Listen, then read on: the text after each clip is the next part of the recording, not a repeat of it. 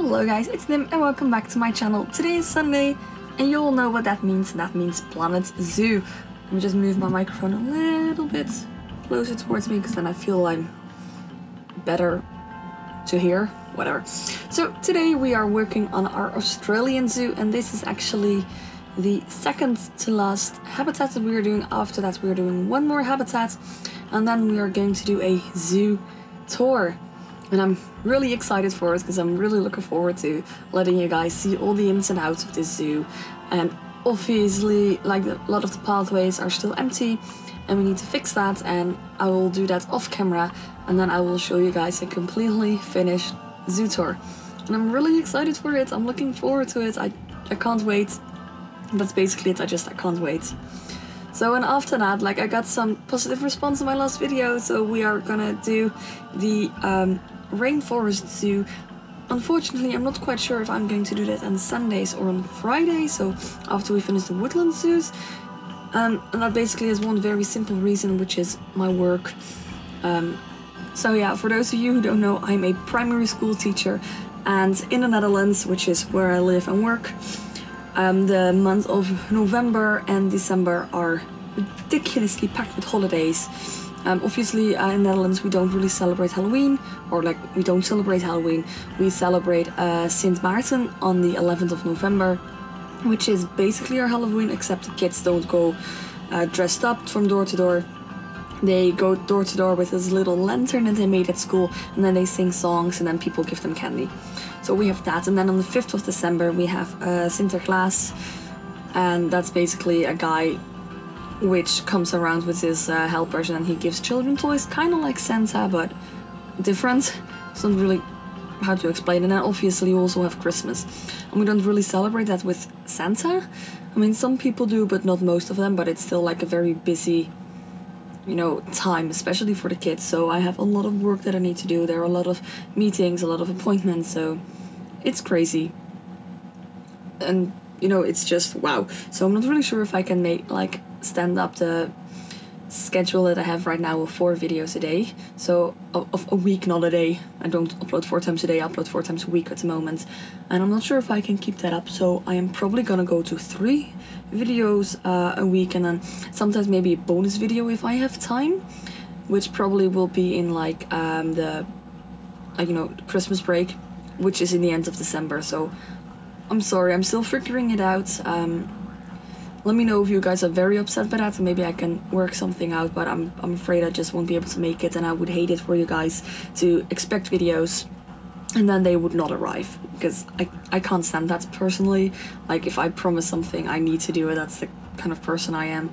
It's all you know in my personality so i would rather play it on safe and then only upload three times a week and then sometimes a bonus video and if you want to know when bonus videos are coming, you can always follow me on Twitter. I don't tweet a lot, but I tweet the important things so you don't get spammed. Also, if you wanted to have my opinions on new uh, updates of the Sims team or the Planet Zoo, uh, Twitter is the place to be. I don't have a lot of opinions about it because, you know, it's a game and I don't make the game, I just play it. But if something really bugs me, you will find it out there. I also have a Discord server in which you will get notified um, as well if there are some odd things happening and you will get a notification every time a video goes up. But of course you can just hit the subscribe button and the bell icon if you want to get notified as well. So feel free to do all of that. I also have two Instagram accounts, one personally dedicated to The Sims. So if you are into The Sims as well, you can follow that one. And I have one personal account, which again, I don't really use a lot, but you know, sometimes I post some things. So just follow me there. I'm not the spammy kind of social media person, so don't worry about that. And now, after like almost five minutes of talking, we are gonna go into the video. I'm sorry, I'm rambling on. So today, um, we are building the ostrich habitat. And I know that the ostrich, same as the crocodiles, aren't really from the Australia Zoo, but I feel like they are like pretty similar, and they, you know, they fit into Australia. Like we already have the cassowary, which is kind of related to the emus, and whenever I look at emus, I always think of ostriches. So, and since we don't have emus in the game, we are going with ostriches. And today we're making a habitat for them. Now, this habitat is ridiculously large because they had this entire, you know, space just left there and I didn't know what to put in. I was like, you know what? I'm gonna put a lot of ostriches in there. Also, can you hear my voice? What's wrong with my voice? What the heck? I'm sorry. That's weird. Let me just take a sip of my tea. Okay, it's not better. We're just gonna go for it, and if I, I don't have a voice anymore, I will just transition into music. So, um, obviously, like, we don't have um, any more Australia Zoo animals from the new pack, so we are going over to other animals. And like I said, since we don't have emus in the game, the cassowaries are obviously related to emus, we are going with ostriches because they always remind me of emus as well. And I think they're like related in some way, sort of manner as well. So, you know, that's fine. And right now we are um, like we did the entire premises, we did the landscaping, we did the terrain paint, and now we are making sure that they are actually having, you know, somewhere to sleep and that they're gonna have a roof, which is kind of a big deal and kind of important. So I'm sorry if you can hear the washing machine in the background, it's just done and it started beeping. I will turn that off after I done the voiceover, so if you hear something beeping in the background, that's it. Or it could also be the bird that is in front of my window. One or the two. So right now we are just making this lovely habitat and I actually never used this wood or this roof, I believe. And I absolutely love it. I feel like it's so cute. It's, say it's really Australian, but I've never been to Australia, so I don't really know if it's really Australian. So if I'm offending someone, I'm sorry. I don't mean to, I just um, don't really have a lot of knowledge about Australia, so I'm going on what I do know. And if I don't know things, um, I'm guessing, and you'll hear me say, I don't know. So yeah, I don't know about that. Right now, we are just putting some uh, enrichment items and making sure that the animals actually have everything. And they actually, um, like the animals already have babies, and the tiny babies can actually escape the habitat. But obviously, they can't go into the water, so they are just a little bit outside of the perimeter. And like I get this um, emergency call, like, "Oh no, an animal escaped!" And I'm like, "What? Where? Where did he escape?" And then it's just a little ostrich, and I'm just like, "Eh, doesn't really matter." So here we are making another food court, and um, I didn't want to like show you everything building because you know I already did it in a Dingo episode. And if you didn't see that, just go to the playlist down below and it will be in there. So here we are making a food court because the last food court is quite a bit away and you know you do want your guests to be hydrated and fed all the way. And then we are making this giant oasis and I absolutely love it. Like really love the way that this turns out. So I'm drinking my tea in the meantime to help my voice be, be there still. So right now we're just copy and pasting like over some of the rock work and some of the uh, landscaping just to make sure that it's really cohesive and that it fits together. And also because that rock work took me so long and I'm not going to do it again. Just plain old honest, honestly there, like I'm not doing all of that again. Like this rock work of this small other pond, that took me like almost 30 minutes. So if we can copy and paste, I'm just gonna copy and paste. And besides that, like it really makes the zoo look like it's one whole. And I absolutely love the way that that looks. I also love these bushes. I keep forgetting their name and I can't actually see it. What it's like. I know those are desert tree, like blood trees, but I don't know like the little bushes. But they fit in so perfect on the rocks. Like it makes it look like they're actually like um, plants growing out of the rock, and I absolutely love the way that looks. So here we are making sure that the desert looks deserty in the back as well because you know it's entire desert landscape. So we are placing some cactuses or cacti, that's the plural. We are just placing it some there, some there, some there, just at random, just to make sure that it really looks like it's supposed to look. And obviously we're placing some of those uh, blood trees as well. Some of those other trees just in the rocks to make it look like it's really green and like there's growing things there. I really like the way it looks. Like I have to say that I really, really like it. I'm quite proud because I've never been to the desert. I only know the desert from movies and then especially like the movie The Mummy. And that's about it. That's all I know it from. I've never been there. Um, I only know like the Egyptian desert from a lot of documentaries and movies, like I just said. And that's it. So I went off all by memory and I came up with this for a desert oasis and I'm actually really happy with it. Now, I have to be honest, I did put in some more oases, is that the plural? Uh, around this big oasis. And maybe that is not as realistic as it were in the desert, because I believe that in the desert you have like a lot of sand and then suddenly one place where there isn't sand.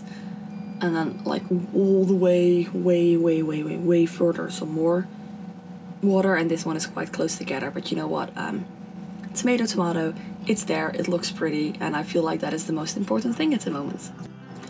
So while you guys are looking um, at this oasis like we're placing a lot of palm trees there is some cutting in there because you know um, food I usually build when I get home from work which is around like 4:30 5 o'clock in the afternoon and then I have like an hour to build and then I have to make food. So you know there are going to be some cuts but I'm really happy with the way it turned out especially like all this vegetation I feel like it's so um, realistic and I can't really say it otherwise than realistic.